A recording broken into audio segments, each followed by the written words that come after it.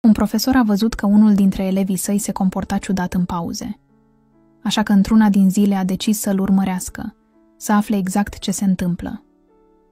Domnul Ionescu, un profesor dedicat și mereu atent la elevii săi, a observat în ultima vreme un comportament neobișnuit din partea unuia dintre elevi, pe nume Alex.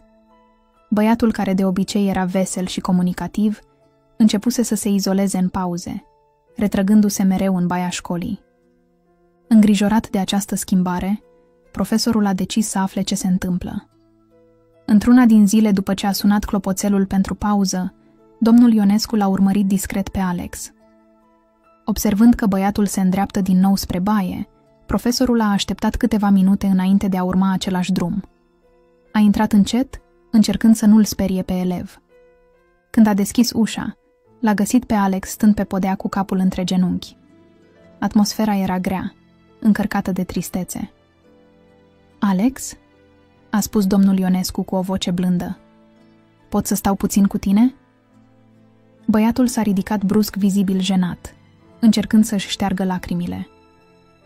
Domnule profesor, îmi pare rău. Nu trebuia să mă vedeți așa, a murmurat el. Domnul Ionescu s-a așezat lângă el pe podea, privindu-l cu o expresie caldă și încurajatoare. Alex, nu ai de ce să-ți ceri scuze. Am observat că te retragi aici în fiecare zi și mi-am făcut griji pentru tine. Vreau să te ajut. Poți să-mi spui ce se întâmplă? Elevul a privit în jos cu degetele încleștate. Este vorba despre pachet, domnule. Nu am. Nu am mereu ce să pun în el. Și mi-e rușine să stau cu ceilalți colegi când ei mănâncă. Cu aceste cuvinte rostite, lacrimile au început să-i curgă din nou, mai abundent. Domnul Ionescu a simțit multă tristețe și compasiune pentru situația dificilă a elevului său. Alex, îmi pare foarte rău că treci prin asta. Dar vreau să știi că nu ești singur, a spus domnul Ionescu, punându-i mâna pe umăr. Nu trebuie să îți fie rușine. Situația asta nu este vina ta. Băiatul a ridicat privirea, întâlnind ochii plini de înțelegere ai profesorului. Dar ce pot să fac, domnule? Mă simt atât de rău. În primul rând vreau să vii și să mănânci cu mine în cancelarie, atunci când simți că nu poți sta cu ceilalți. Vom avea grijă să ai un pachet zilnic. Apoi o să discut cu directorul și cu consilierul școlar, pentru a vedea cum te putem ajuta mai mult. Ai încredere în mine, Alex. Nu ești singur în asta. Alex a început să plângă mai tare, dar de data aceasta lacrimile păreau să fie de ușurare. Mulțumesc, domnule profesor. Nu știu ce aș face fără ajutorul dumneavoastră. Oricând, Alex. Suntem aici să ne ajutăm elevii, nu doar să îi învățăm lecții din cărți.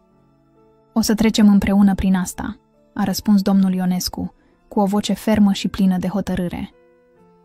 De atunci Alex a început să mănânce prânzul cu domnul Ionescu și uneori cu alți profesori care doreau să-l sprijine. Școala a mobilizat resurse pentru a-i asigura un pachet zilnic și chiar o mică bursă pentru necesități.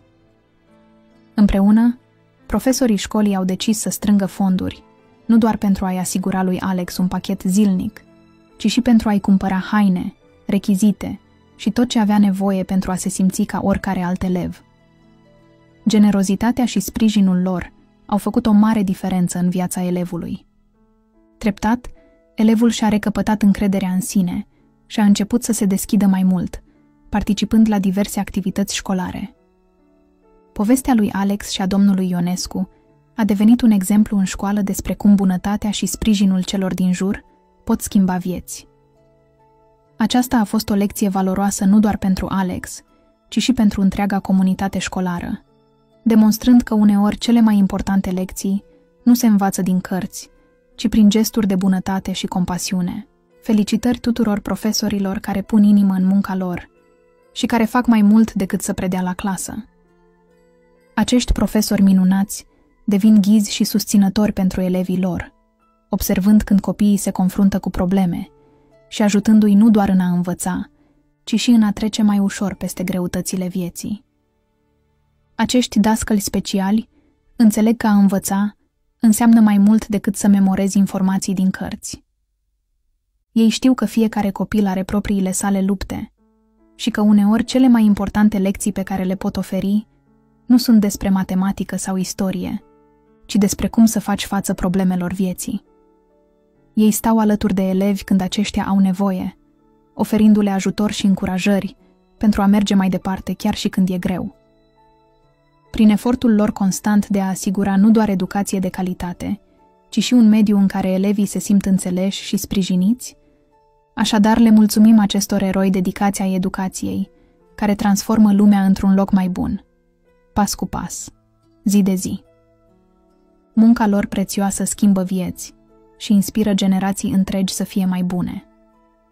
Nu sunt doar profesori, ci adevărate exemple de urmat și merită toată recunoașterea noastră pentru tot ce fac zi de zi.